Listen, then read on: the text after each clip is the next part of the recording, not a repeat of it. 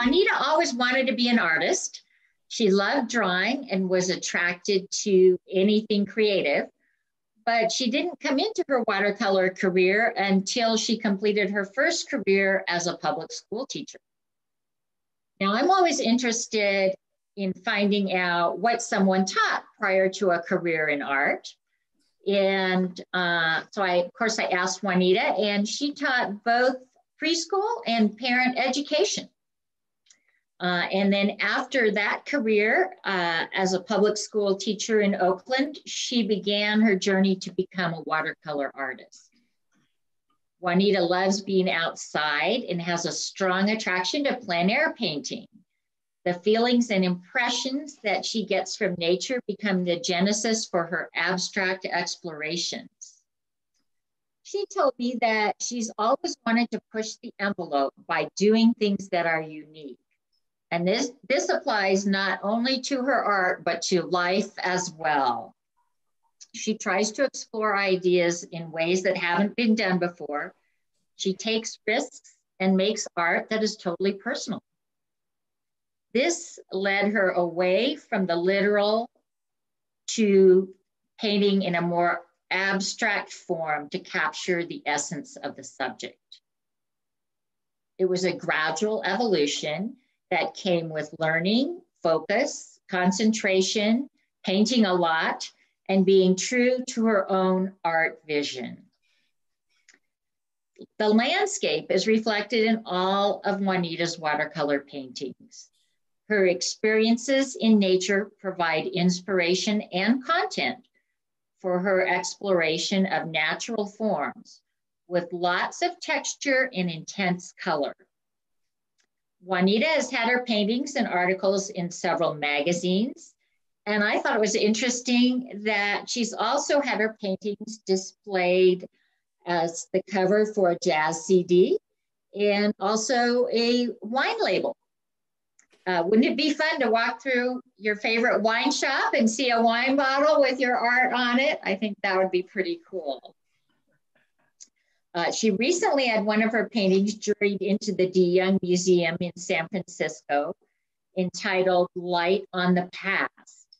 It's a part of her Grand Canyon series, which derives from a rafting and hiking trip that she took to the Grand Canyon and the Colorado River. It was selected from over 11,000 entries to fit the theme of living on the edge. Let's welcome tonight's demonstration artist, Juanita Hagberg. Juanita?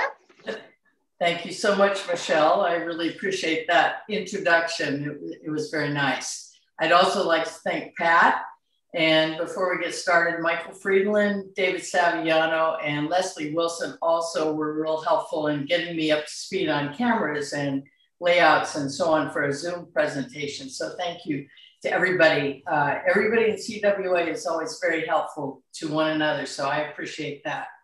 Uh, as Michelle said, I have evolved into being a very experimental painter. I, I work from my heart my experiences, my emotions, and that whole idea of a personal vision is really important to me. I, I don't want to do something that somebody else has already done. I want to do something not even that I've done before, but keep pushing, pushing, pushing, and working all the time. I like to paint what something feels like instead of what it, it is a literal uh, rendition of what something looks like. So I like the unexpected, I like the unpredictable, and I like to try and be creative uh, all the time. So I'm, I'm, I'm, as Michelle said, I'm in, inspired by nature. I love to plein air paint, but I gradually become a more abstract painter, even though I still love to go outside and, and do plein air. Uh, my paintings almost always involve rocks, trees, and water, and they're very organic, not, not geometric. So you would see that in, in my paintings. Uh, what I would like to talk about tonight is Yupo paper. I'm going to talk a little bit more about what that is, but first I'm going to show you what I use to paint with. Uh, I use a palette, and so I'm going to switch over to another uh, camera. Okay, there we go. See that? All right. So I use yeah. a standard standard palette. I use the same palette that, uh, inside, and if I go out and plein air paint, it's the same palette. So I use that. Uh, I use tube watercolors, and I usually use uh, like Daniel Smith, my favorite, Quin Burnt Orange. Uh, I also use Da Vinci paints, which uh, I think I think is pretty good quality for uh, not being Daniel Smith, which I absolutely love. And it, it, like like many of you, when I first started painting, I was shocked at the price of a tube of paint. And of course, you're more shocked now because they're a lot more expensive. But uh, you know, a little bit of paint goes a long way, and uh, it's important to get good paints when you paint. So I also use uh,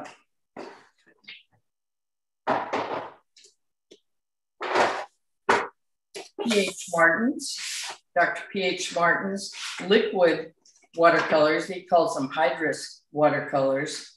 And they're like this. They come in smaller uh, containers also, but I happen to like this one ounce size. And those I really like for painting on Yupo.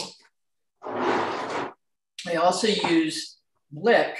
Uh, if you want to go with something very inexpensive and uh, try these out, they're you know they're a good alternative. The colors look very different uh, from using uh, either your tube watercolors or Hydrus watercolor. For example,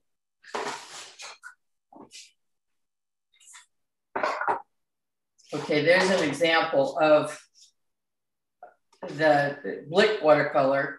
Here's an example of a tube watercolor, both red. You can see the difference. However, you might like my for different things. Oops, we had an echo. Okay, so um, so we've got that. I also use water, a spray bottle of water. I use a spray bottle of alcohol when I'm working. Rollers. Most of you probably have something like this around. Here's a, here's a brayer. And you can also use a scraper. None of these are things that you need.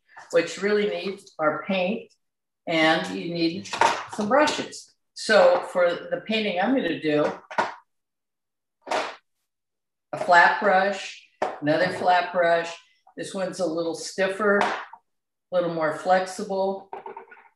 And this one holds a really nice point. I think it's in Escoda. And this one. Don't even need all of these. Two, two brushes would be fine. So tonight, if you if you happen to have some Yupo paper and want to paint along, you're welcome to do that. It's not exactly a paint along demo, but you can mess around with the with uh, Yupo as as we're talking about it. So in my quest to get more abstract, uh, and as my painting evolved, I discovered Yupo. What is Yupo? Yupo is actually a plastic, and it's a polypropylene. Uh, it's very smooth, very unpredictable. You can get great textures, great values. Uh, it comes in things like uh, different sized uh, pads like this, this happens to be an 11 by 14. It comes much smaller. And the neat thing is you can go all the way up to five feet by 30 feet in case you have a really big space to work and you have some really big ideas that you want to uh, deal with. So here's a piece of opaque Yupo. Opaque Yupo is like this. And the other kind of Yupo that you might like to try is a translucent. The translucent, as you can see, you can see through it somewhat. It's, it's just a different kind of surface and has, uh, you see that? There we go. Hmm. So it has different effects and it's kind of fun to try out both. The, um, the opaque Yupo is a little bit uh, heavier and doesn't bend as much as the opaque. The opaque is much thinner. So the, the one thing is paint, the paint is actually going to sit on top of your paper. And I call it paper, even though it's a plastic, uh, totally smooth and the paint will sit on top. It does not absorb into the material like it would on watercolor paper. So that's a real consideration. It's a plus and it could be a minus depending on how you paint. And you've got to really learn what it can do, what it can do with your style of painting. I tend to paint uh, much more abstractly on this, but you could paint in a representational fashion also. It really depends on what you want to do. I don't do it when I plein air paint. Uh, I like to work flat because, as I said, the paint sits on top of the surface so if you painted uh, like you would normally with watercolor paper and you're outside, it's going to drip down all over the place. You'd, I think you'd have a real mess. At least I would. So I don't use it plein air. I use it in the studio. Um, and generally, I like to work uh, much bigger on this particular uh, paper, this particular surface. I like the surprises that it has. I like the textures that you can create, which we're going to uh, experiment with a few of those. I like the values. And uh, I, I think it's really kind of neat because if you don't like something, you can totally wipe it off. And that's something you can't do with watercolor paper. So you can have very large works, you can have representational, you can have abstract works, very large works. And if you don't like what you're doing, wipe it off or wipe off part of it. So I think that's, those are kind of fun things that you can do with this particular paper.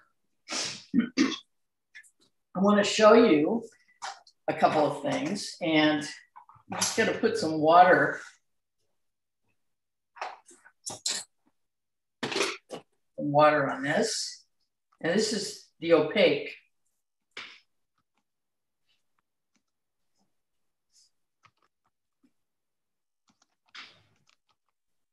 We're just going to put a little bit of water on this. And one of the things is in general, you're going to work a little um,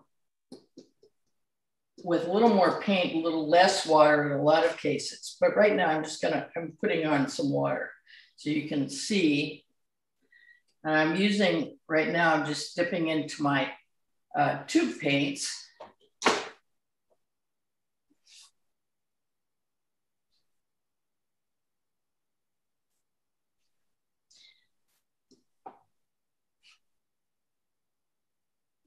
So that's tube.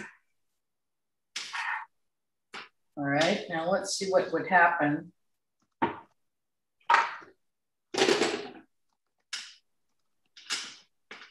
actually. I'm to pour this. This is the Blick, which as I said was less expensive.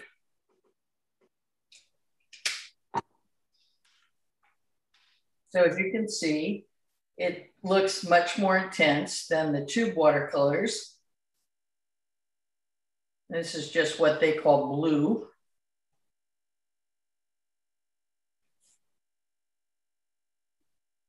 And as you, you can see how thick it is right here. So it almost has this thick consistency as you take it out of the bottle.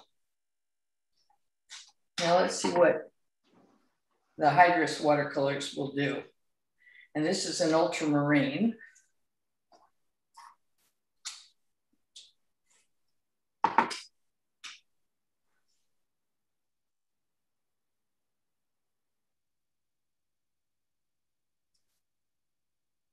So in the blue, you're not seeing much of a difference. And you see they all are very, you know, smooth. You see a real difference just in the ultramarine uh, out of a tube on this particular paper. So it's, it's something to uh, experiment with and say, well, where, where do I want to go with this? Now, you've got these little splotches going on here where you have uh, places where the paper has, has resisted the paint. And that's probably an indication that you've got some uh, oil on your fingers or in the handling of the paper.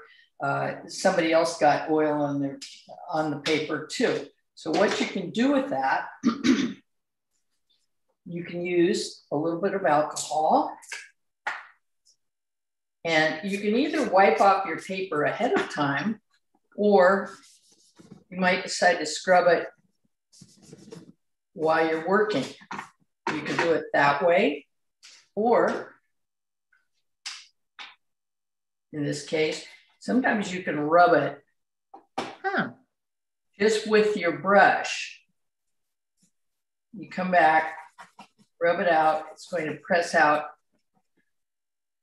the bubbles, the little splotches that you don't want in there. Now, you may decide that you want those for uh, some texture or something. Now, I just rubbed this out with a little bit of alcohol, and of course, that resisted uh, the paint. That's another effect that perhaps you want. Juanita, what is the name of the Blick product that you mentioned? Yes, it's Blick Liquid Watercolor. And which uh, was the stripe that you did with that?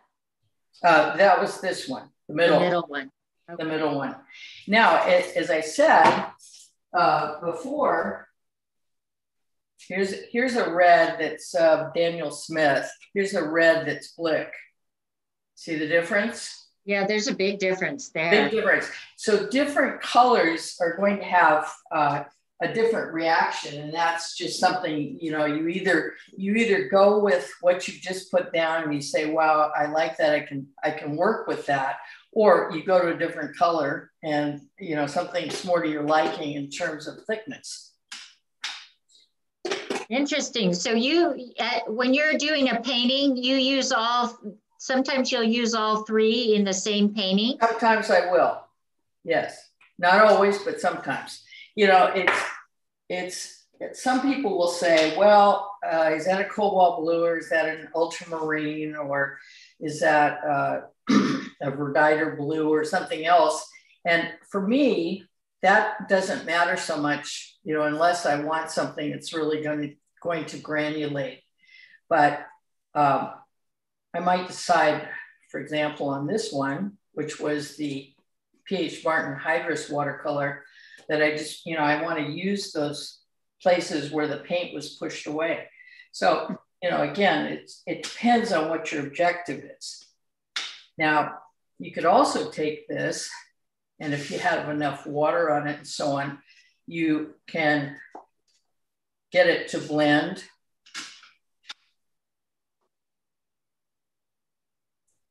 And, and let it mingle just by having the, the various paints touch.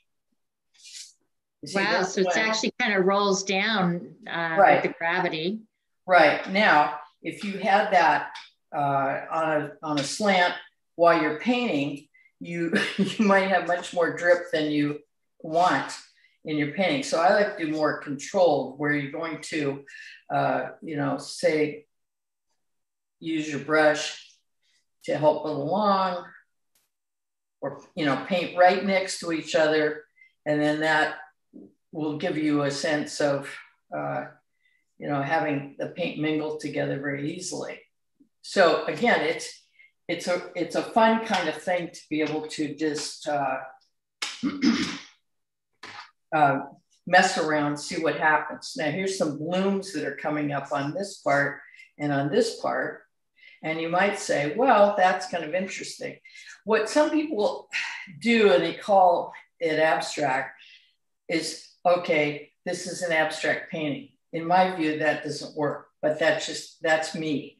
Um, I think if if you started and you were um, pouring paint on or dabbing paint on water, and then you came up with this or something else, you might get some really interesting effects. But to me, that's not a finished painting and you got to go further. And that's where the work and the thinking and everything else comes in. So, Juanita, uh, uh, yes. with regard to that uh, Blick uh, watercolor uh, uh, product, can that be used on regular watercolor paper? It, it can it can be, and it's I, I'm sure a lot of teachers use it for classroom things because it's so inexpensive. Oh, uh, I see. You know this this uh, let's see a set of 12 of these is like $80 for the Hydrus watercolors, and, and these are like four or five dollars a piece. So oh. this is oh. eight ounces. This is one ounce. So you know it's different products and uh, different, you know, maybe ways to use them. I like something like the Blick because it's a good way to start on, on uh, trying something like, you know, paint on Yupo. And mm-hmm. one of the things that you can do, and you're not investing a lot of money in that, which I always think is a good thing. With regard to the Yupo paper itself, is you mentioned that there were two different uh, surfaces, but yes. is there really only one brand? Is there only one place that makes it? Is that why Le- Legion Legion the company makes it? It's a Japanese company, and you know they make it in different weights. Uh, this is uh, 74 pound, and they make it heavier weights. I think 74 is, is fine for most things that people want to do, but uh, again, you can experiment with different ones. You can also get in sheets that are, say, up to 26 by 40. So um, I, I like to work on that. But again, you have to, you know, you have to decide what's good for your type of work. So if one of the things you might want to do after you get paint on to your paper is you you could use a tissue for example. And you can either do it like that with your hand. Now you come up with some interesting texture. Wow. Or you could uh, put it down and you could use your roller that we talked about. Roll it.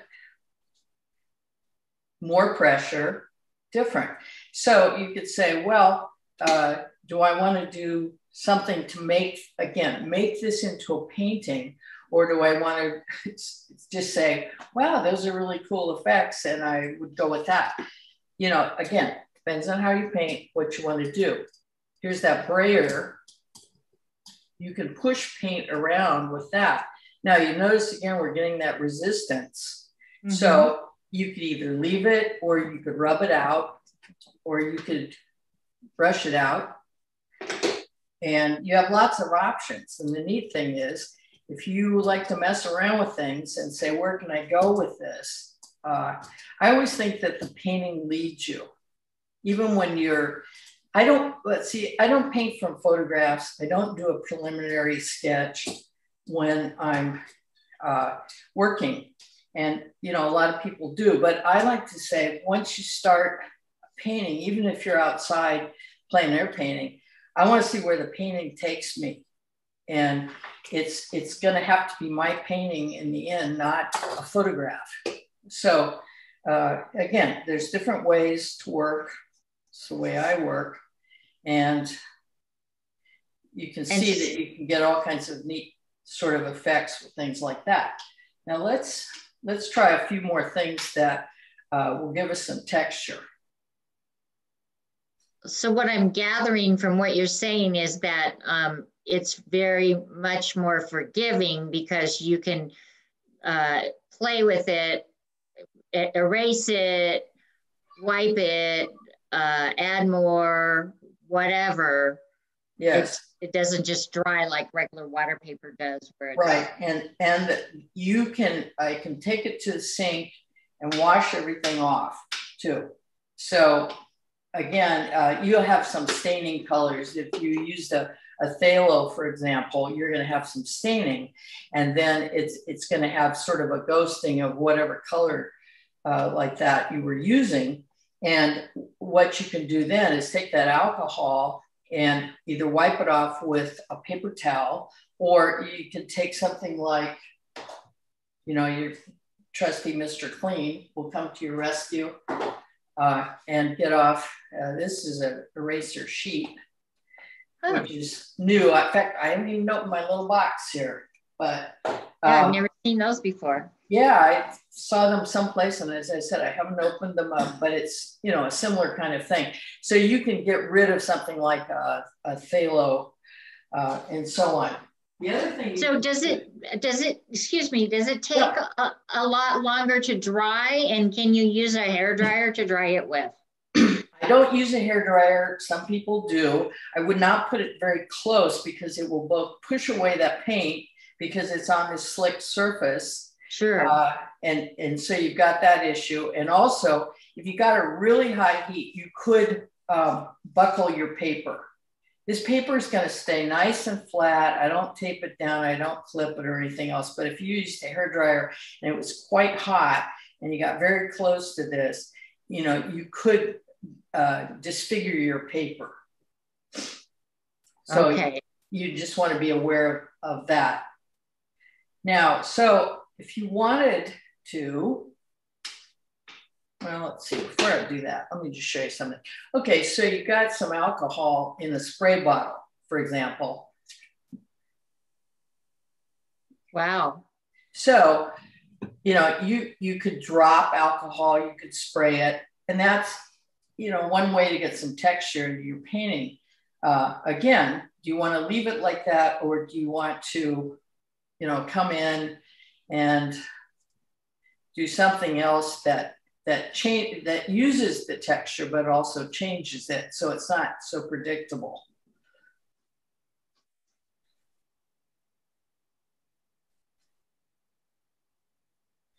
Um, you mentioned drying, and that's one of that's one of the uh, it's a challenge with Yupo, not necessarily a detriment or anything, but it, it can be a real challenge. And that is, it takes a long time to dry. And if you're in a humid area or you're in an area that's uh, cold and damp, it's going to take much longer to dry. And later on, we'll talk about uh, how you present these things and what you do about the drying process and how that figures into how you present things. So um, we'll do that later, but it does take a long time to dry. And for example, if I were to pick this up and I had painted to my edge and I picked it up, what are you going to see? You're going to see fingerprints along the edge. So you come back in and you're going to you're going to get rid of those by painting over them. So you want to handle that carefully, you know, if you're carting it off somewhere to dry. And you ever use fingerprints uh, to uh, make marks on the yeah, paper? Sure, you can. Uh,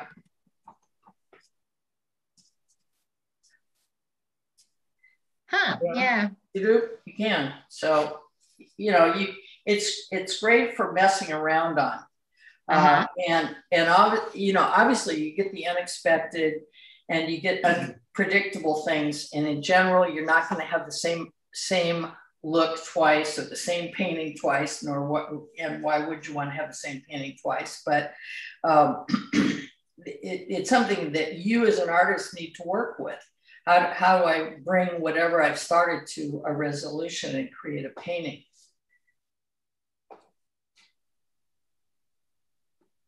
So let's put some more paint on here.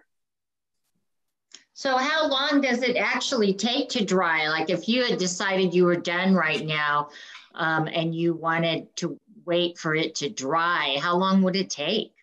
Uh, it can take weeks. Oh, wow. so I, you know, sometimes it's, it's like you have say, maybe it's three weeks and it's dry and you're looking at it and then you, you say, well, I really need to do something else to that. Uh, you know, you add you add something else to it. And of course, you change one thing, you change five things. Uh, so then you've got to um, let it dry some more. Um, I'm going to show you though, if you if you do, um, I got the wrong, there we go, tissue. The other was a paper towel. So if you if you do this like what we talked about, and you two ply, so you can burnish what you've got going. This helps it to dry. It also helps to sort of seal it. And it helps to kind of smooth it out. So sometimes, depending on the color or whatever you're working with, I mean, if you're working with, uh, say, browns or something like that, it almost looks like burnished leather to me. Hmm. When you do that, you can get it really smooth. Yeah, it's so, pretty. You know, again, it's a different, a different kind of look. And it also, it, as I said, it helps to, it helps to dry it.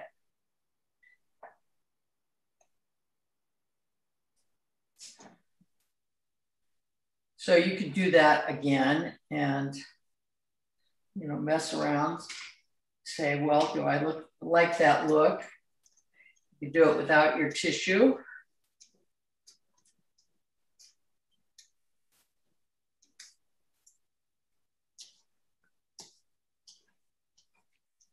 I forgot to say, if people have questions too as we go along, be sure and uh, pass them on. And then you, Michelle, I think you're going to tell me what questions are.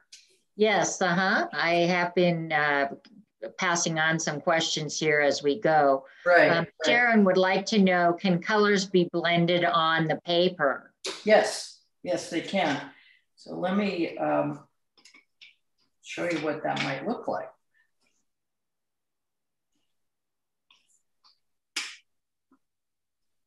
In fact, I think it's it's kind of neat to uh, blend them on the paper. I think that works nicely.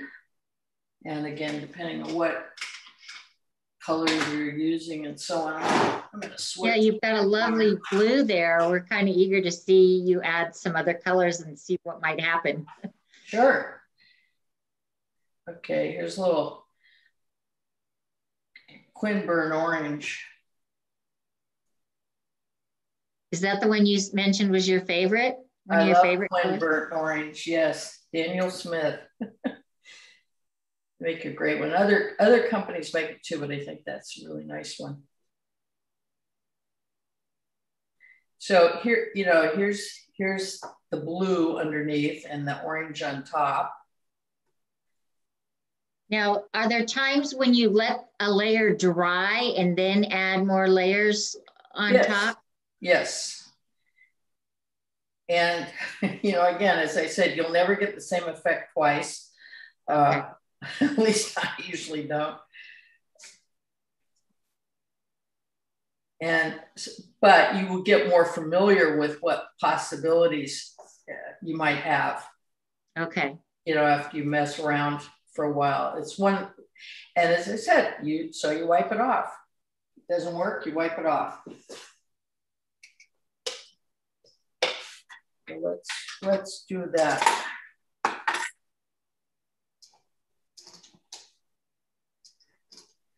Now, on this, you see how we're getting a little bit of, uh, it's almost like dots because of the roller. I have another kind of roller here, which is, um, this is a soft one that you'd use for paint. Um, huh. it, it's kind of a, it, it almost feels more like a fabric than a sponge. Okay. And that's another type you could use. You could, so each different type gives a little different uh, yes. surface to yeah. the finished. And and also depending on uh, say what kind of pressure you're putting on it, that makes a difference. Oh, okay. Um, you could take your your brayer and and you know create texture like that by holding it so it's not rolling, it's just kind of smooshing it around. Oh, I see. Art term. Now, if you try, if you scratch Yupo paper, um, like with your finger, like some of us do with our watercolor paper to make marks, does it leave an indentation in the paper? It depends on how much you you do it. Now, I said it, you know, it would uh, one of the things that can happen with Yupo is it, it can crease. like if you are sloppy when you put your paper away or something and you it bumps up against something else that that pushes it in a certain way, it could crease. So you you could,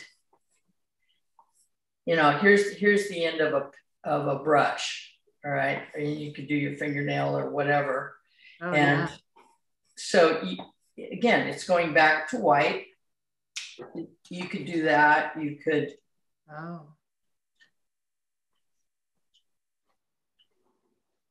You know, it's like change it so that it doesn't say, look, I scraped the paint and it's something different. Yeah. So then it, kind of makes you wonder what's really going on there that right. keeps the interest level up. Right. And to me, that makes them that makes for a more interesting painting than just leaving something as is. How long have you been doing the Yupo paper using that? Um, you know, I uh, I had some Yupo. I think I got, I must have gotten a pad of it, and it was probably about, oh, I, I think it was about 10 years ago. And I, I had uh, done a, a couple of things on it and I liked it, but I wasn't, you know, really thrilled.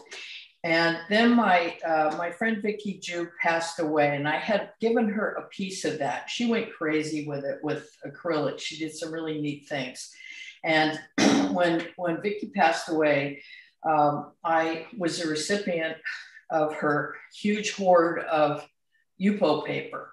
And I thought, you know, in order to honor her, I really needed to get going with Yupo and, and mess around with it some more. So I've I've been doing a lot of it for about the last, oh, say five, six years.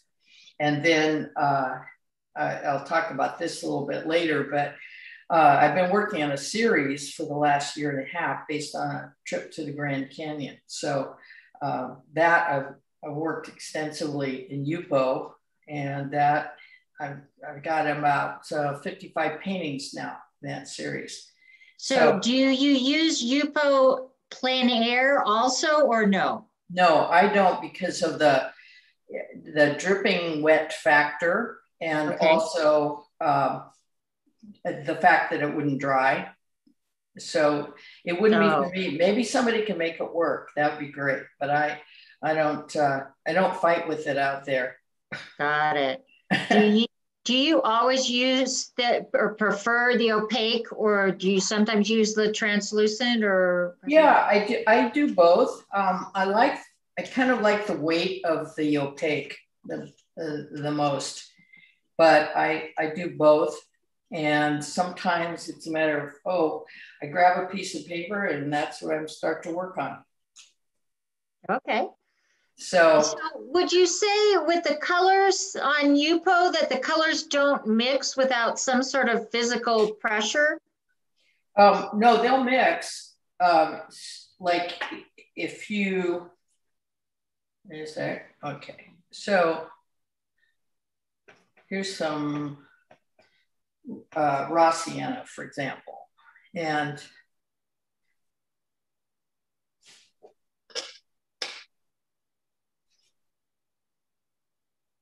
So if you put colors next to one another, they're going to mix, but you know, you can do your burnishing and bring them together, or you could, uh, you know, help them along by tilting. I see, I see.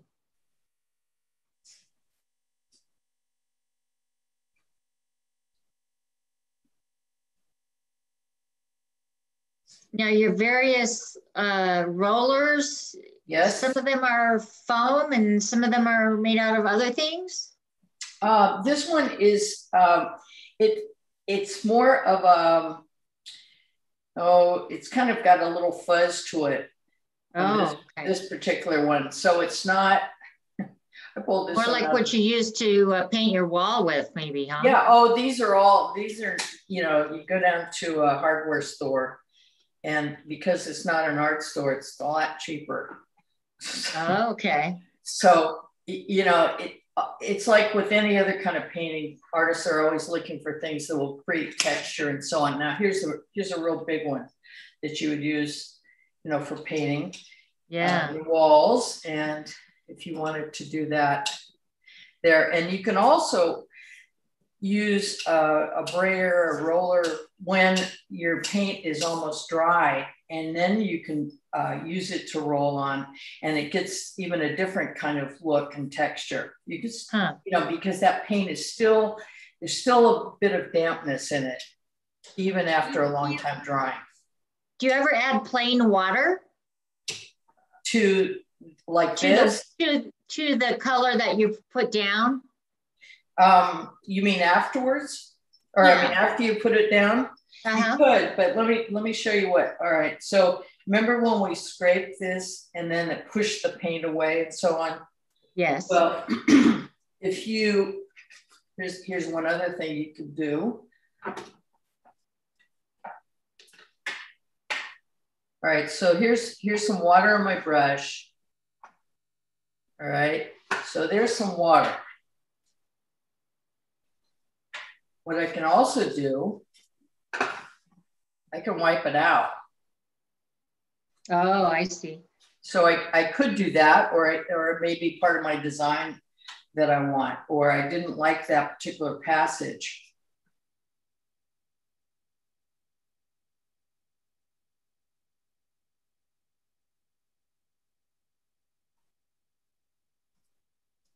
What about beforehand, like with with your your tube paints? Do you use them straight out of the tube, or do you water them down um, more or less before you put both. them on? I do both. Tonight I uh, watered them down, so okay. they they were a little bit moist and and nice and thick and and everything. Now I could okay, I could take some water and remember what we did with the uh, we did with the alcohol, mm-hmm. you got a lot of spots and you get a little bit of texture depending on how wet or how dry. Here's the alcohol. Boom. Wow. See That's it? A huge difference. yeah, it's totally different. Now, again, I wouldn't want to, if I were saying I like these little things, I personally wouldn't want to leave them. I'd want to work with them and and decide what else we could do with this uh, in order, you know, to use part of it. I, I really don't like it when, okay, you use something like uh, plastic wrap or uh, wax paper. And, and then you look at the painting and you go, look, they used wax paper or they used, you know, plastic wrap. It's like, use that as a start and go further with it. So it's not obvious. It's a tool, you know, to get where you want, not where it wanted to go. And, you know, to me, that's just not very interesting. Okay. Um, so, like, for example, let's put this aside for a bit. Oh, let me show you one more thing on that. Um, so, you know, all these things that you find and you have scraps of for texture, you can certainly, let's see, where's my big brush? Lost that. There's my favorite brush. Oh, there it is. All right. So you've got all this stuff going and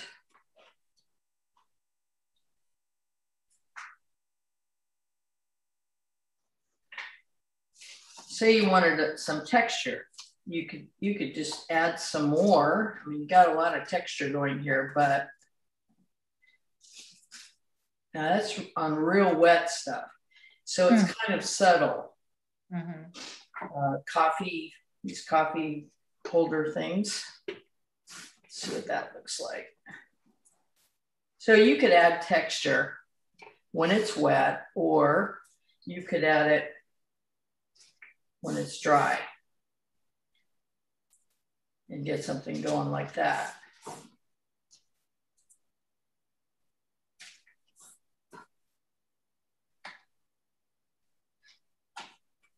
Again, all different kinds of things. I, uh, I know most of you have this kind of stuff because artists are big collectors of things.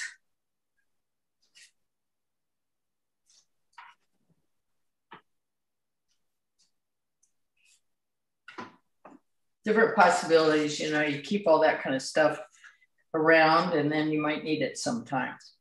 Mm. Looks all like right. fun. Yeah. So we, we said something about like uh, plastic wrap. All right, here's here's one that was dry, had some plastic wrap on it. Okay, so you actually left the plastic wrap on it till it dried? Till it dried. And that's what I would recommend. Oh. All right, so that's kind of a an oddball thing going on here. But if I wanted to do something else, I mean, I could say, wow, there's an abstract painting. Uh, or I could, uh, you know, do something else with it.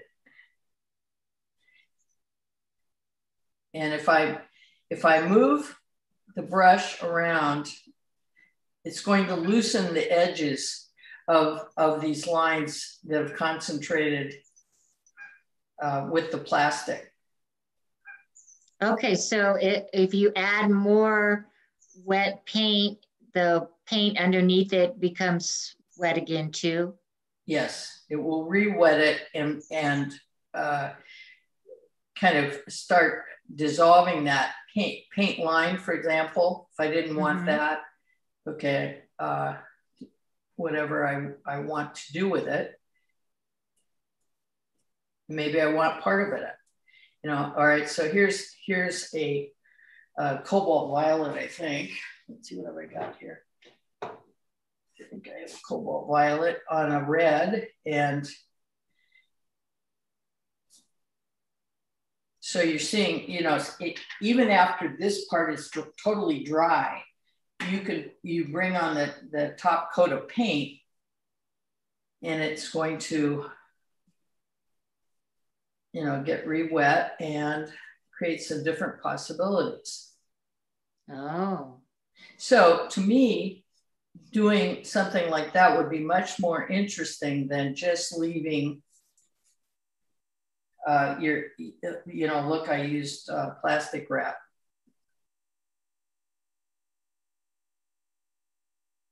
So um, somebody would like to know when you're working with this paper and you like an area, is there a way to save it before it moves again to a different design?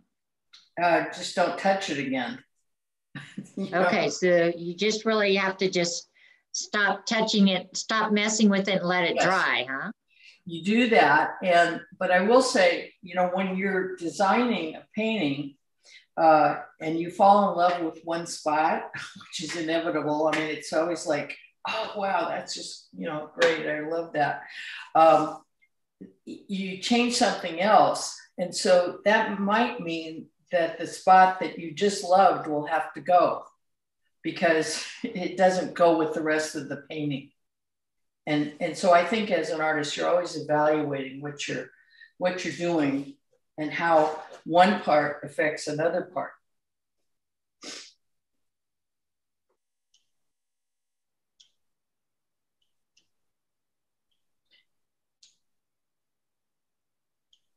And then somebody else would like to know if you if you want to paint a landscape, yes, um, and make it more representational. How do you make shapes?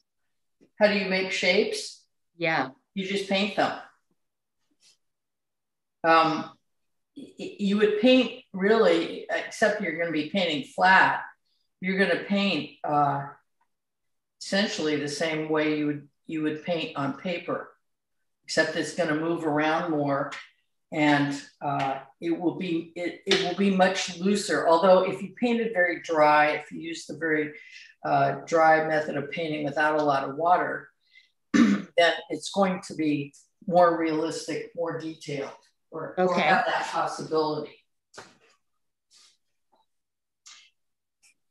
So you might also use something like, uh, say, here's here's a dry, here's one that's already dry. Q-tips. You might decide to use that to, to rub out paint and get a, a little more fine, or you could use a, a more of a fine tip brush to do the same thing.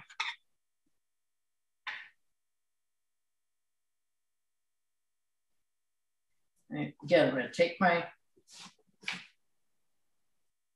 that's going to lift that paint up after Okay, so you just, you just wet it with that fine tip brush and then it, and then that paint would lift. Yes, it's going to that soften the paint and then I lift.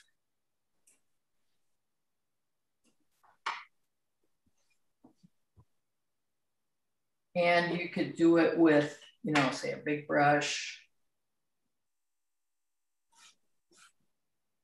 Wow, okay. So again, different, different possibilities. You know, maybe I want to fill that in a little bit and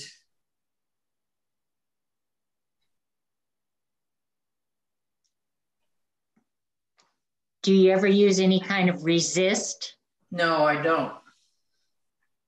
Um, I, just, I just never have had the need to. I don't do it when I'm using regular watercolor paper either.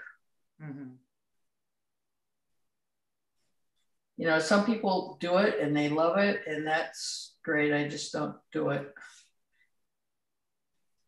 I think one of the things that might be difficult for some folks is, you know, if you're used to drawing out your painting and, uh, you know, you can draw it out. I think the fun of is is in not drawing it out and just going for it. Jump in. So a lot of what you do uh, compositionally is is intuitive. Is that right? It's intuitive, but it's also in my head. If I'm thinking of something, if I'm thinking of trees, for example, I have a tree in my head. I have trees in my head. So okay. and I like I like to paint more of the universal, not the specific. So it's not going to be that tree. It's going to be something that says tree in terms of, uh, you know, what someone is going to think of when they.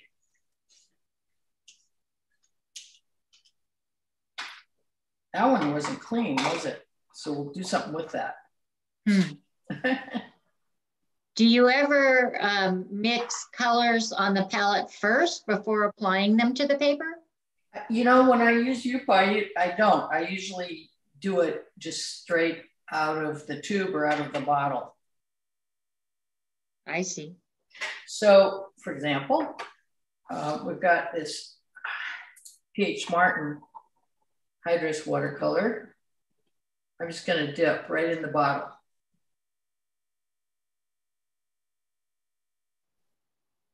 And perhaps I want, you know, some line work or something going with this.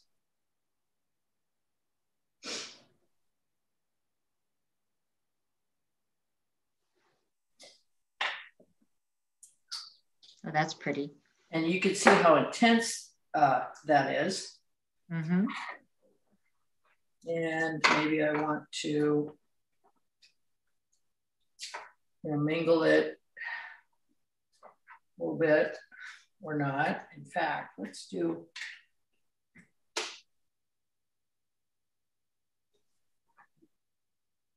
that was a little Quin Gold.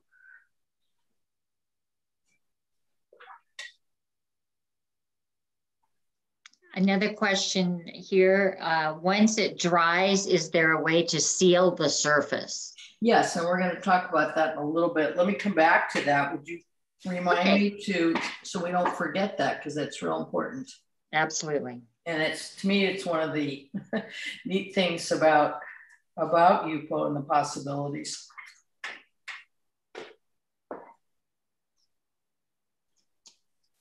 what's the largest size painting that you've ever done uh 26 by 40 okay but i do have some uh, i have some five foot by 30 feet. So I'm, I'm thinking about taking over the place and doing and doing that because you have to have a, a, big place to work. Yeah, that would be like a mural, right? Uh, yeah, or you could cut it, you know. Yeah, use it for a wallpaper and put it on all across one wall. Right. I'm going to clear out some of this stuff here. I forgot to mention too, if you you know, people could use uh, watercolor crayons, you could use watercolor pencil, uh, hmm. you could use ink, uh, people, some people use acrylic and so on. So there's all of those possibilities too, depending on, on what you like uh, as a painter. Okay. So, so again, it's like um, I like to go to uh, toward the the abstract, and it's um, it's something that, I, as I said, has really evolved, and I like the the challenges and uh, you know thinking that you might have more to say. Oh, and one of the things that uh, really inspired me, as we talked about before, was I got to go on a lifelong dream trip to the Grand Canyon. Um, I was on a rafting trip, hiking trip, and it was an incredible challenge, both physically and uh, you had all kinds of emotional responses. And you're, you're in a place that's two billion years old. Uh, and to me, that has a real effect. At least it did on me.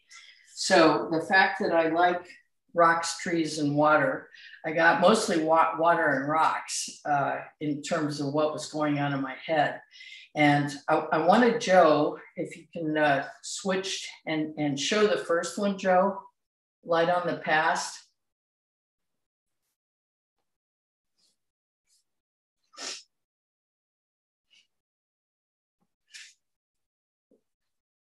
Okay, that one's up.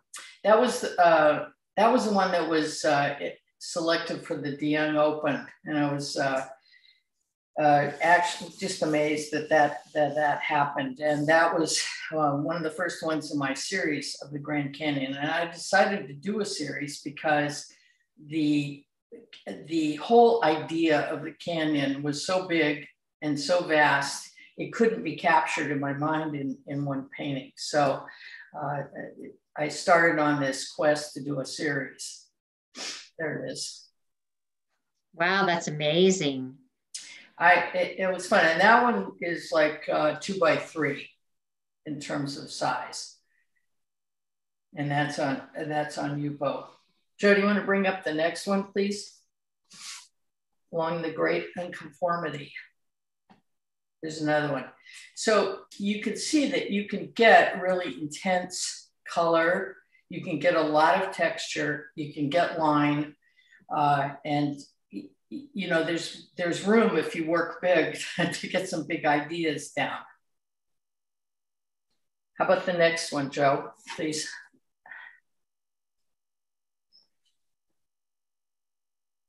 Okay, this one's got a lot of texture in it. Uh, more blue than I normally use, uh, especially in this series.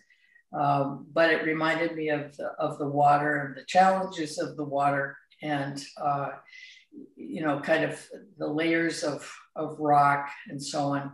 But when I paint, I like to bring a whole emotional response to something. And it's just, you know, you have to throw yourself into what you're painting. And again, this is not uh, one rock or one formation or anything like that, but it's a series of things and it and it all comes together, I hope, in something like this. Uh, Joe, do you want to show the last one? In Christina says that she loved that one so much. Oh, thank you, Christina. Thanks. And here's another one. Um, again, you can get. Uh, I I mean, this one you would uh, it'd be easy maybe to see some of the layers of paint. Someone asked me about layers before. Yes. And this is several layers.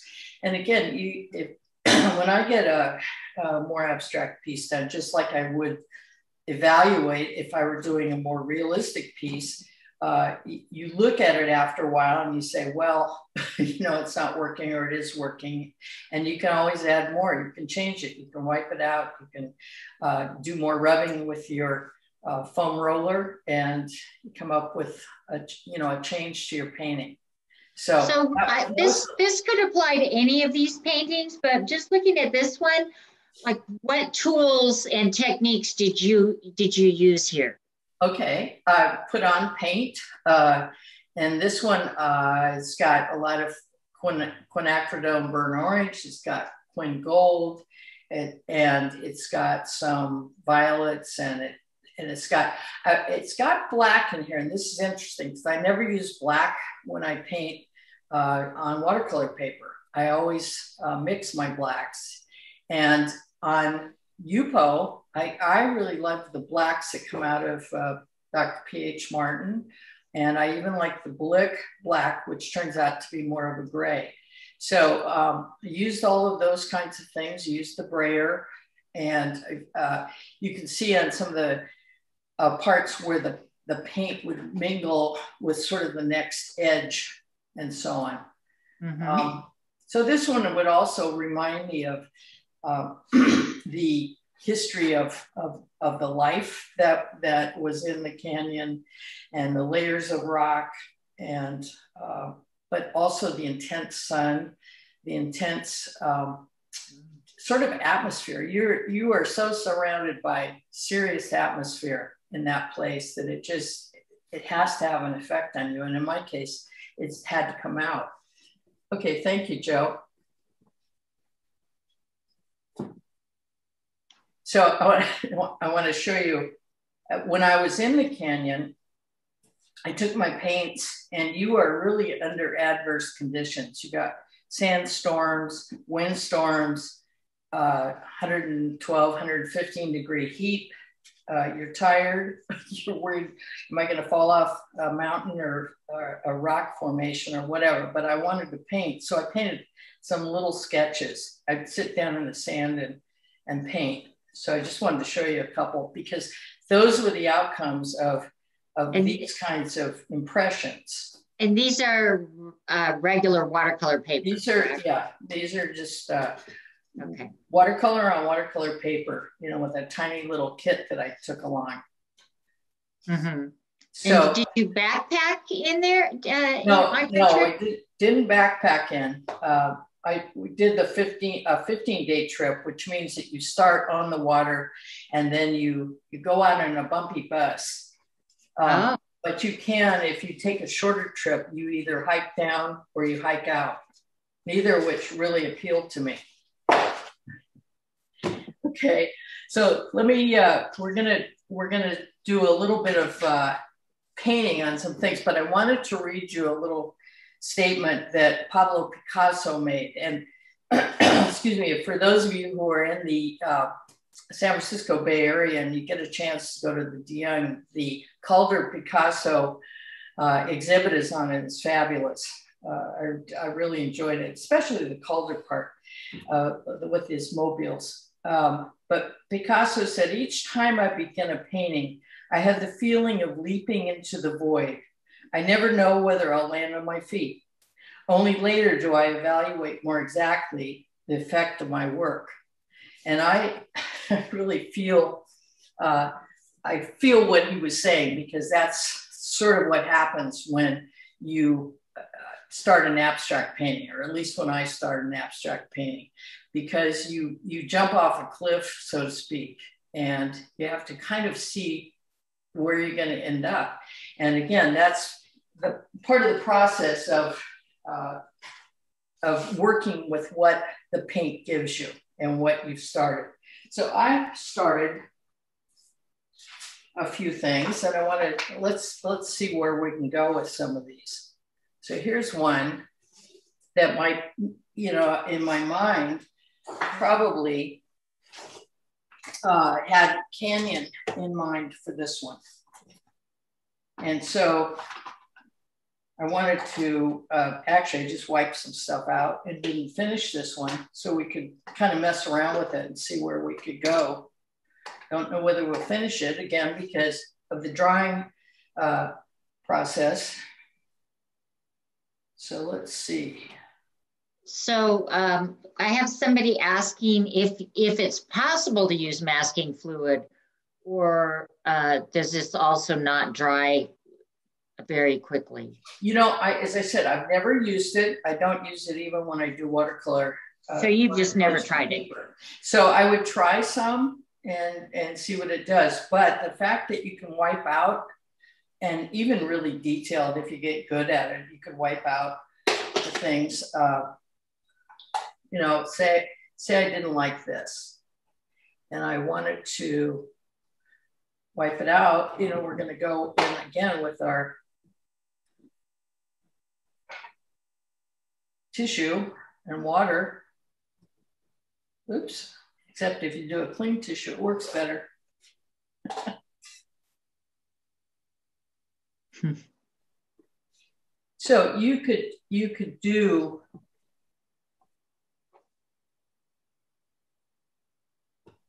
you know wiping out and you could you could get very detailed if you wanted to so in some ways it's like you probably don't need the masking fluid it would be a I see sure personal preference you could do it i don't i don't think you need to let's put it that way do you offer workshops uh, using the yupo paper i would i would if we if we want one, we should talk to you about it. In you other words, talk to me about it. Yeah, or people can contact me.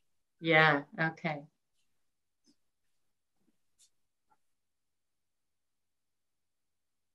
And once the Yupo paper is dry, can you roll it up to ship it? You could to somebody. Yeah, you, know, you, you could do that.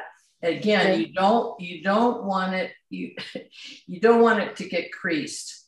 Okay that's the deal. And, you know, you'd want to be uh, careful about that and make sure that uh, the instructions are there to make sure somebody doesn't crease it.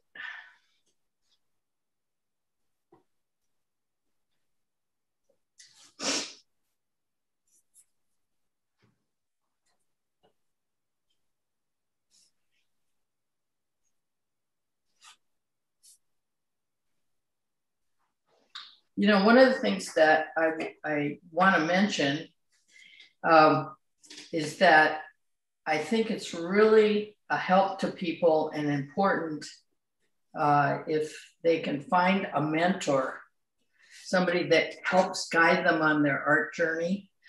Uh, I've been really fortunate in my life to uh, have had two mentors.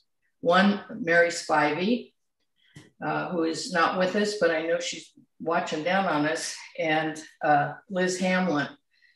Uh, and these two people are very dear, dear friends and mentors for me, to me. And I feel incredibly lucky to have had that experience. I would certainly recommend you latch on to somebody who's willing to help guide your art journey. And one of the things I found, which I had no idea when I first started painting, was that artists are extremely generous in their knowledge and uh, information, help, support. So I hope you've had that experience too.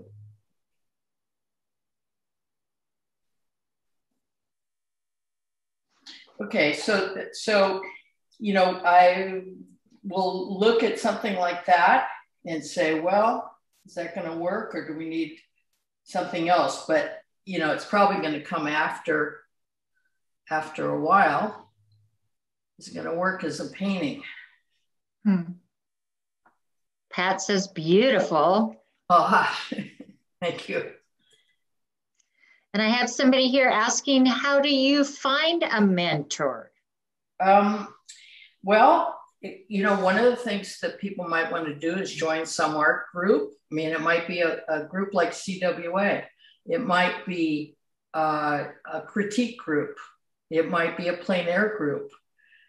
And it's it's a matter of find somebody who's better than you are, who's willing to be a friend and who tells you the truth. I think that's mm-hmm. an important kind of thing. But as I said, I think people are real generous and they they kind of surprise you in terms of their generosity because uh, I, most people are very giving.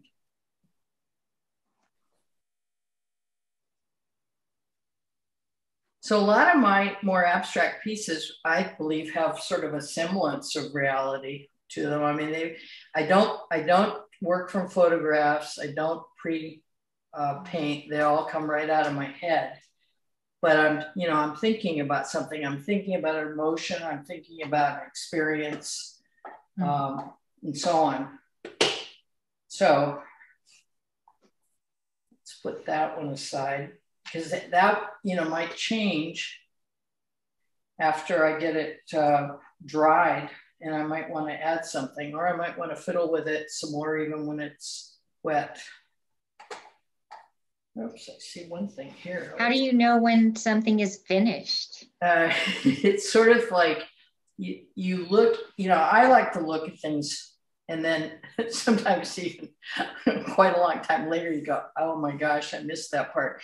It's sort of like when you can't do anything else to make it better. It, and you know, I believe you know after you've painted a while, you know when it it says what you wanted it to say. If you added something or took something away and it would, you know, that wouldn't do anything for it, then then you're done. Uh, you know, look at it in a mirror. You'll see it. Turn it upside down. Uh, those kinds of things can help. But I think intuitively, after you paint it a while, you know whether it's working or not.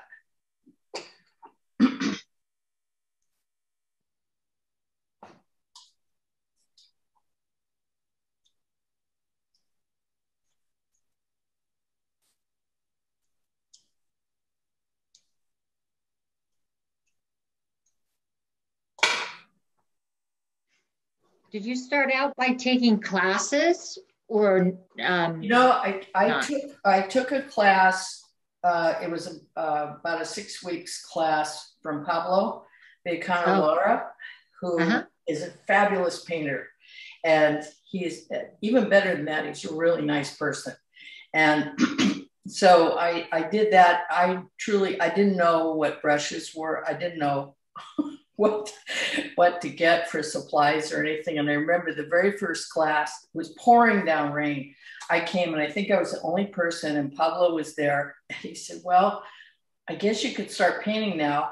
And I, I said, I don't have any brushes. I don't have any paints. I don't know what to do. You know? so anyway, uh, it evolved from there. But he, he's a great person to know. And, and if you've signed up for any of his uh, classes, I think you'll enjoy them.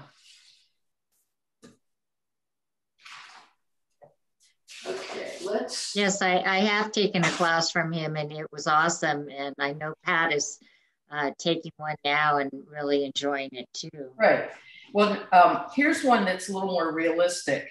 And uh, I started this one. I even, my problem is I have a hard time stopping. If I start to paint and I want to get something so that I could show you what's going on, I have a hard time stopping. So that's just a fault of mine. I think it needs some uh, plant life over here.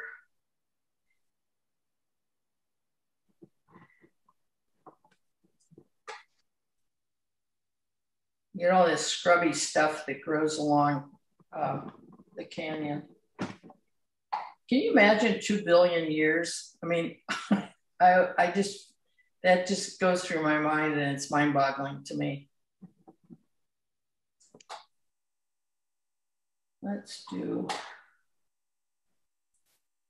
can you see that? Those are both sap greens, two different sap greens. Isn't that crazy? So anyway, they're mixed. Huh. That's, you know. Ah.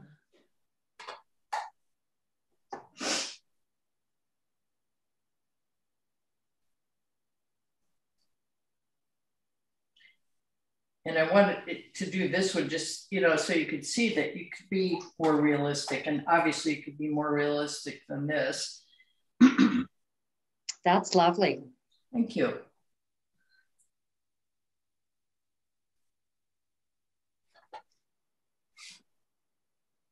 Do you ever use salt for texture? I don't on this, and I don't usually use it on watercolor paper. I think it would just help to keep things wet and not dry. Oh. Um, uh-huh. So I don't, I personally don't think you need it. Okay.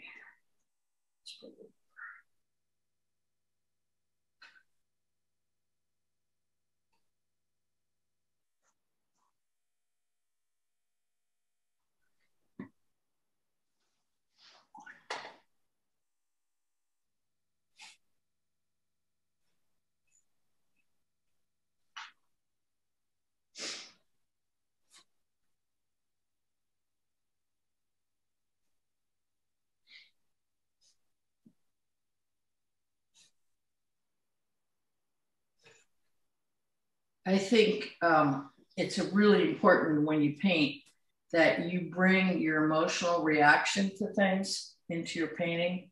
And uh, the more you can do that, I think the more authentic your painting is.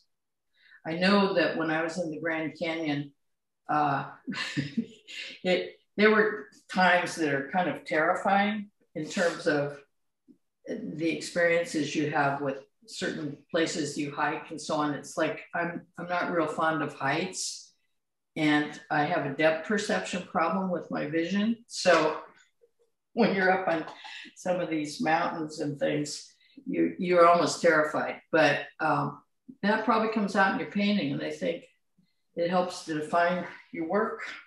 Huh.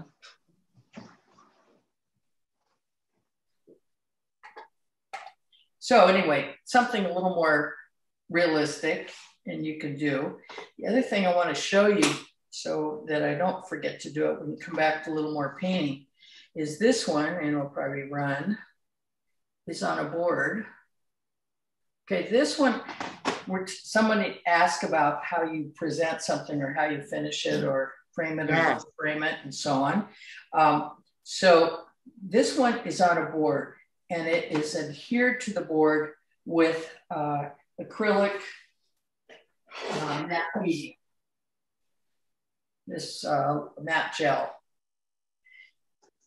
Now, there's a lot of controversy about various ways to do this. Uh, one is that a lot of watercolor associations, for example, want to have things uh, framed with mats under plastic and so on.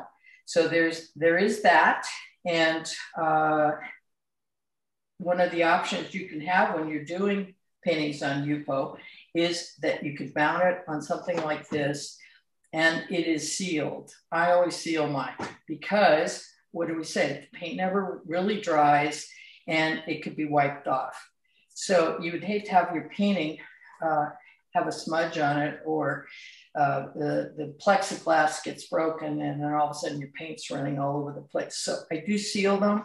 And if you're a purist, you won't seal them, but I have no idea how you're going to deal with that. Uh, and what I seal them with is I use a Krylon UV resistant clear. And I do a couple of coats after it's really dry. And that might mean a week or two of drying. Uh, and on a dry day, I do this outside and I do a couple of uh, light coats that are about, you know, 12 inches or so above the painting. Do that back and forth, up and down.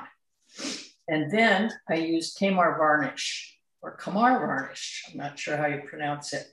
Um, it's non-yellowing and it's a sealer, uh, but it comes out a little bit uh, uh, glossy so then after that's dry of a couple of coats, I'm probably going to put some more of the UV uh, clear on it because that will give it a matte coat.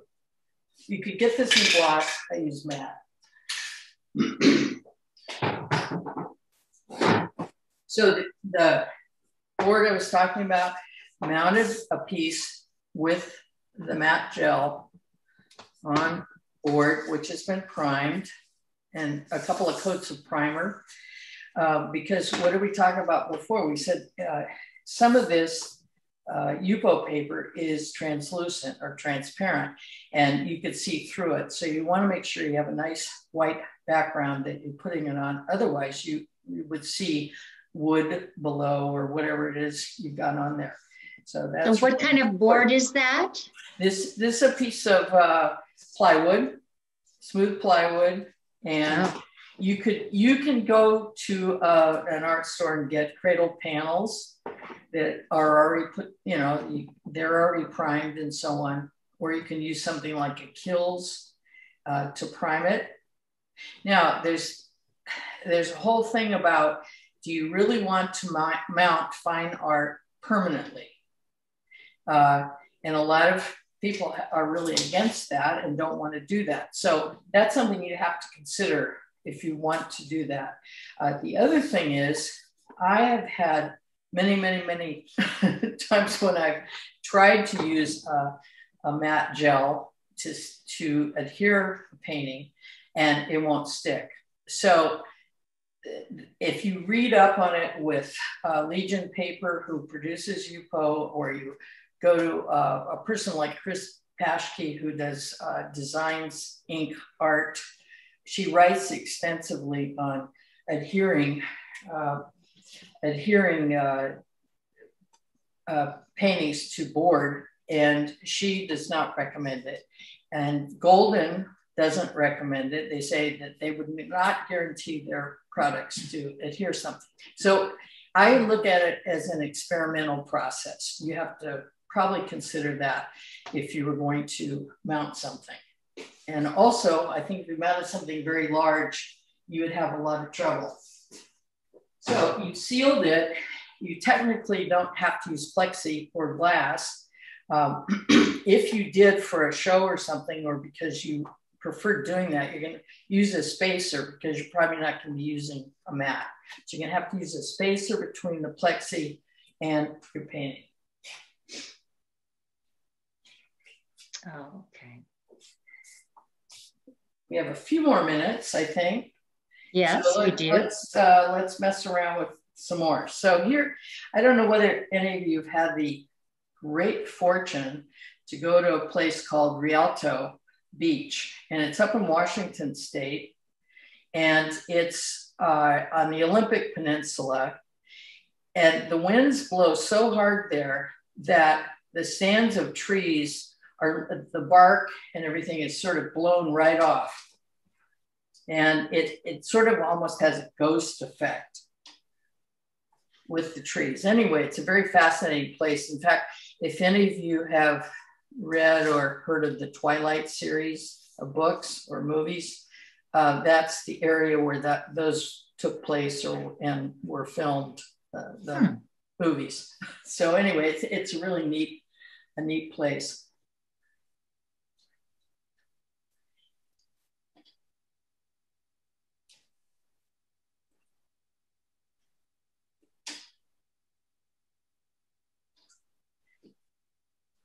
So this is what I'm thinking of when I do something like this. I'm thinking of Rialto Beach. However, this could be any beach. I mean, this or any stand of trees. I mean, you wouldn't even know it's a beach because I'm not going to paint the beach. So, uh, again, it's your painting, your idea, and I always feel that the viewer brings something to your painting. So whatever's going on in your mind, that contributes to the whole process too. I remember I was I was in a, sh- uh, a show one time, and I noticed somebody had bought a painting of mine, and they uh, were going out the door, and I go, "Oh, thank you for buying my painting." I said it was a plein air painting. I said, "Do you know where that is?" And they said, "No, but it uh, looks like someplace I'd like to be." And that really made an impression on me that it didn't have to be one place, didn't have to be uh, anything specific.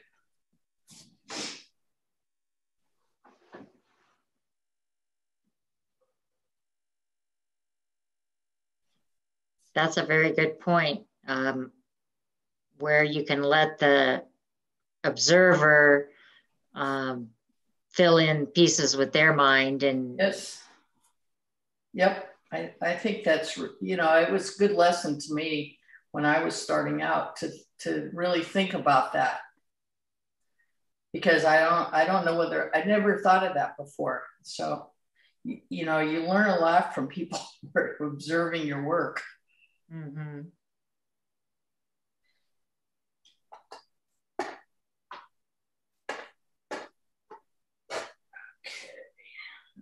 Well, you certainly make it look like fun, like it's something I want to try.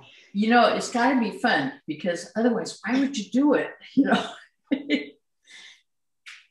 yeah, I mean, even if it, if if it makes a nice product, if you don't enjoy the process, what's the point, oh, right? Oh God, I, you know, I just get so excited when I paint. I, I was talking about that class I went to that uh, Pablo was teaching and I, it was a night class, and I what I was so excited. I'd go home and I would literally, I just, I'd paint for hours at night. And I, there were other people in the class that I, I really didn't know, but I think they'd been there a long time. And I'd come back with my, they were kind of pathetic, uh, you know, attempts but I was so excited about doing. I, I I thought, my gosh, I waited my whole life to do this. I was so excited, and a lot of these folks, it, it was just okay. We'll come to a class, and I don't know that they were real interested in going further, and I I couldn't even understand that mentality at the time.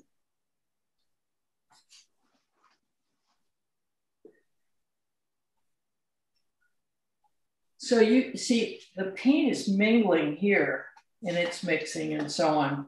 I see, absolutely. Yeah. And, you know, again, you can uh, you could do that. Now here's some more water going to that. So that's going to kind of do a pushback of some of it.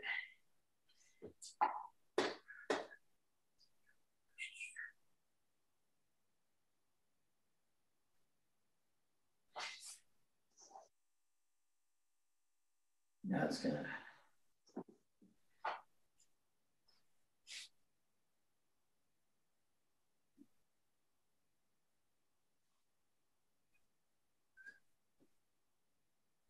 That dry a little bit. And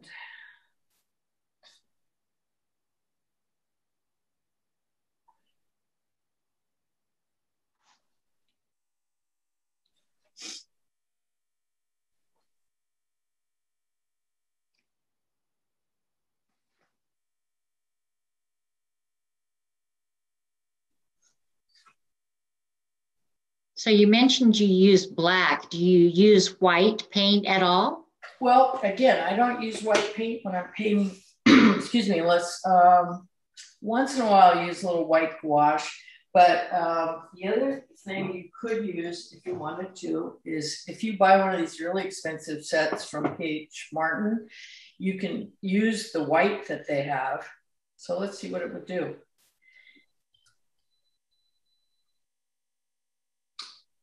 I don't use it, as I said, on regular watercolor paper. Uh-huh. But it can get some interesting effects. You see how that's kind of squiggling yeah. around and almost creating bubbles and things? Yeah.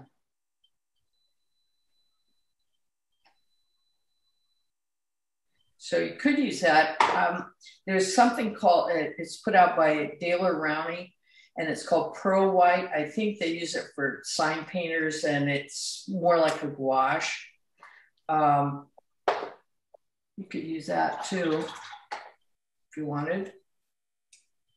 Again, you, with Yupo, you know, you're with the ability to wipe out stuff, you you don't really need it unless it's for some effect. Now, it, that looks kind of ridiculous on that tree, but you can see how that's kind of squirting out. Yeah. And it could have an interesting effect. I, I was just wondering because a lot of times, you know, if you want a lighter color on regular watercolor paper, you just water the paint down more. Right. But you wouldn't really do that on Yupo, right? You don't really need it, although um, it could give you some interesting effects. And that's that's how I would use it on Yupo. Uh-huh. Um, but not so much because you wanted white, if that makes any sense.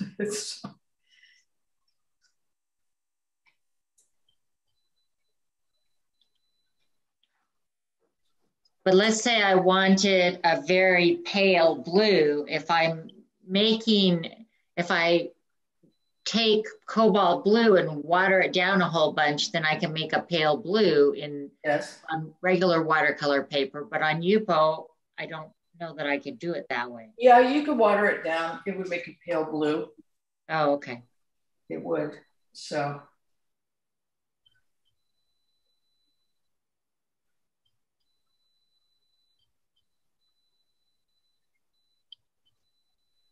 Ah. So are there any more questions? I'd say if anybody wants to um, unmute or just hit their space bar to ask a question out loud, now's a good time to do it. Okay.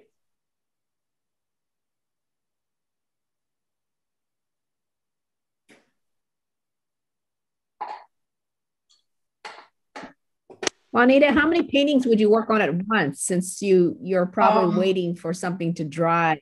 Oh, I I'll get yeah, how much space do I have? Sometimes it's five, six paintings. You know, it's a matter of sometimes it's just the logistics of, you know, do you have enough space for a bunch of big ones and then you don't step on it or something if they're all over the floor? So, um, do you have any animals? And like, I mean, I could picture a cat walking across something uh, and no. a whole no. big change. I don't have any animals right now,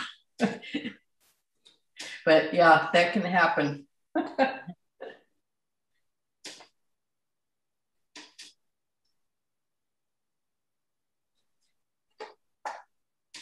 so let's see, where's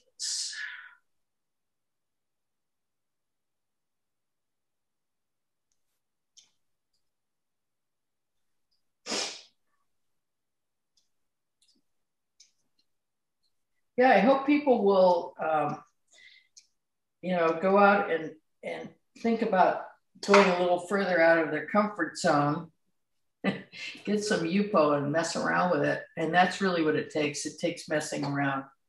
Uh, I think that you can be, you know, you find that you might really enjoy it. I love the impressionistic uh, way that you paint and uh, and, and with the bright colors. Oh, thank you. I have a question. Yes. Um, so does it matter what side of the Yupo that you paint on? Um, no, uh, but I, one of the things I did, you know, when I was doing, especially this Grand Canyon series, it's such a big subject. I thought it really demanded uh, big paper to work on. Mm-hmm. And but I have done some small ones. I've done it on the, this 11 by 14, which comes in a you know the pad and so on. Uh, but I also like the 26 by 40s and uh, that sort of thing, just because it's you know the subject. So right now you're using 11 by 14. Um, right now I am because it fits in the you know the screen to paint on. So generally, how long do you wait for a painting to dry before you seal it with the Krylon? I would probably wait at least two weeks. And again, it depends, uh, you know, if you were in a place that was very humid, uh, it might take longer. Or if it were in the middle of winter, that's another thing is it, it depends on the season, uh, how easy it is to dry.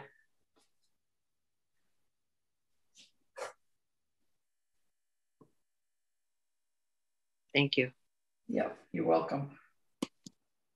Juanita, are there any particular uh, galleries or places where people could go to see your work other than, of course, your website? Uh, you can go to uh, Valley Art Gallery. And right now, uh, that's in Walnut Creek. Uh, also, I'm in a, a fresh work show out in Pleasanton at the Harrington Gallery. I'm in the um, Yosemite Renaissance show and that's traveling around various places in the in the valley, San Joaquin Valley. Excuse me, it will end up at the museum in Yosemite in uh, October 22nd, I believe. And um, be the summer, I'll be in a show in Anacortes, Washington, or at the port.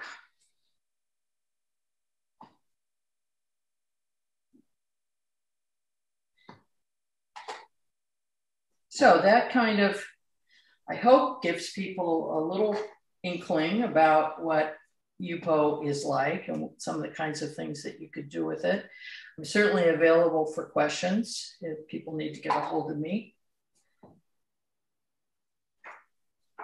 So somebody would like to know um, why would you choose to work on transparent versus opaque paper? Um, it, it it's almost like you've got to put paint on it and you and you see.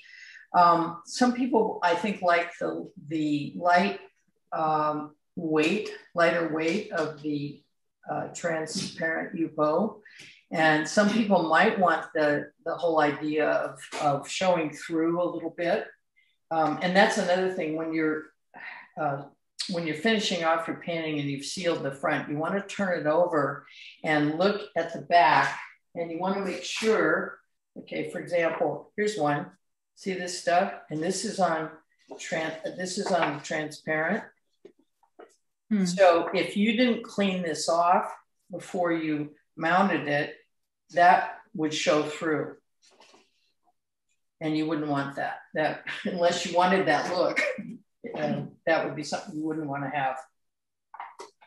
And so it sometimes I think it's more of a personal preference.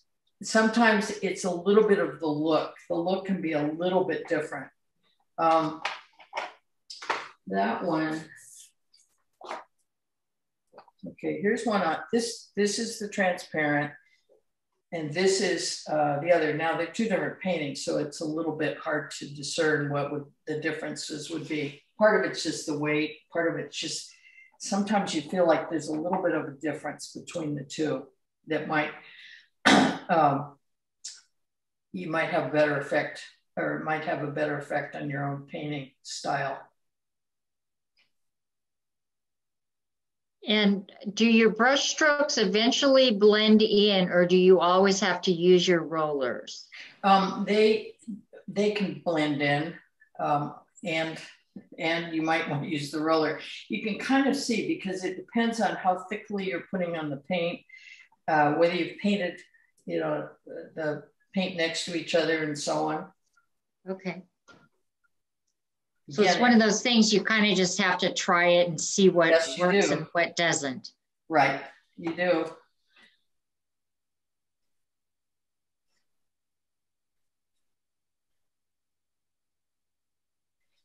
Are you familiar with other Yupo artists and there are there any that you would mention that you admire? Well, I, Georgianne uh, Zaro Eddy, who's who's CWA, is she does some really interesting, amazing work, and uh, I like her work. Um, I, I one of the things, if you look through the internet, you see a lot of Yupo, and a lot of times you say, well, why didn't they just use watercolor paper? I, I kind of think you choose your paper based on what look you want to have and what kind of a painter you are and everything.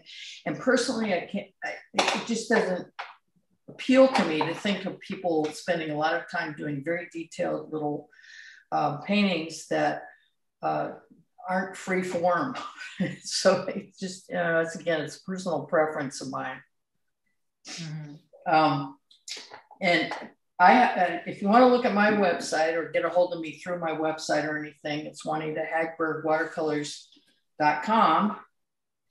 And um, again, if you have any questions or anything, because obviously in a, a short time like this, we can't cover everything.